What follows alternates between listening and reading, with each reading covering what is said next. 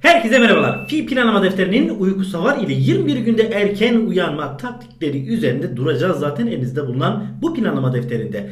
En çok işinize yarayacak yerlerden biri de bu. 21 günde erken uyanabilirsin. Tabi ne sayesinde? Uyku savar sayesinde. Şimdi bunun nasıl olacağı gayet basit. Ama bu videoyu açtıysan mutlaka aklında takılan birkaç soru da olmuştur. Elimden geldiğince bunları açığa kavuşturmaya çalışacağım. İlk önce şunu söyleyelim. Eğer düzenli bir şekilde 21 gün üst üste erken uyanırsan tabi buradaki yönergeleri dikkate alarak uyanırsan bunu gerçekleştirebilirsin, başarabilirsin. Tabi bunun için de şu aşağıda erken uyandığında her bir gün üzerine çarpı işareti at diye bir alan var. Bunları doldurmanı istiyorum. Ve her uyandığın bir güne bir çarpı işareti bu bölgeye atmanı istiyorum. Ve 21 gün boyunca üst üste zincirlerini kırmadan biliyorsunuz başka bir sayfamız daha var zincirleri kırma diye. Peki Fikoç 21 gün boyunca erken uyanırsam gerçekten de bunu başarabilir miyim? Evet başarabilirsin. Bu taktikler bizim daha önceden yayınlamış olduğumuz videolar zaten.